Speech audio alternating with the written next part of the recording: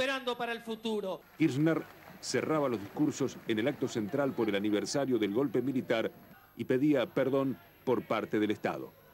Queridos abuelas, madres, hijos, cuando recién veía las manos, cuando cantaban el himno, veía los brazos de mis compañeros, de la generación que creyó y que sigue creyendo en lo que quedamos que este país se puede cambiar.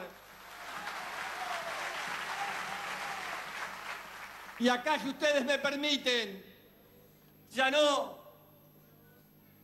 como compañero y hermano de tantos compañeros y hermanos que compartimos aquel tiempo, sino como presidente de la nación argentina, vengo a pedir perdón del Estado Nacional por la vergüenza de haber callado durante 20 años de democracia.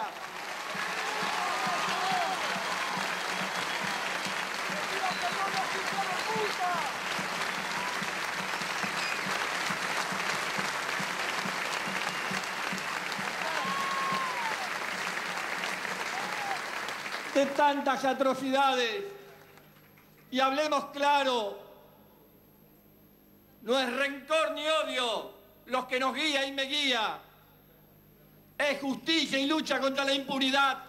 El cierre final estuvo a cargo de los cantantes argentinos León Gieco y Víctor Heredia, más el español Joan Manuel Serrat, que se encuentra en nuestro país.